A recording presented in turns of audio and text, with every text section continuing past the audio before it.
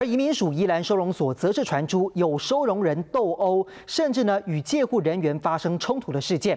在上个星期，这间收容所呢不仅发生越南收容人打伤穆斯林这个收容人的事件，甚至还有超过三十位的收容人突破警戒区，并且与借护人员发生了冲突。而事件发生之后，所方的作为引起基层人员的不满，认为所方不仅没有这个将收容人法办，又或者是惩处，还担心事件曝光，安排收容。人遣送回国，让基层人员是难以接受。希望移民署高层能够彻查。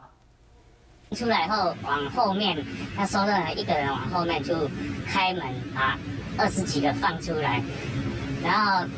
知情的官员吓到了！四月二十六号，移民署宜兰收容所爆出收容人群起鼓噪要离开收容所以及斗殴的事件，而所方处理态度疑似想息事宁人，引发所内员工议论纷纷。时间到回到四月下旬，宜兰收容所发生了两起事件。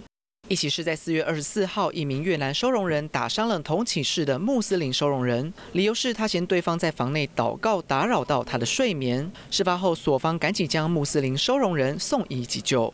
另一起则发生在四月二十六号，三十多位收容人到大门鼓噪要离开，他们趁着中午去厨房抬菜时，打开五六间收容区的门，大批的收容人得到解放，瞬间冲出设防，奔向收容所大门大闹一番，不仅超越警戒区与监护人员发生冲突，还不停挑衅，甚至抢走警棍。起因据称是所方保外决策反复，让收容人心生不满。对此，移民署回应：在收容上，呃，受收容人会觉得说我没有。办法期待哪一天可以回国，因此情绪会比较不平稳。然而事件平息后，却又传出所方态度让基层不满。上面的话就是说啊，这个没什么大不了啊。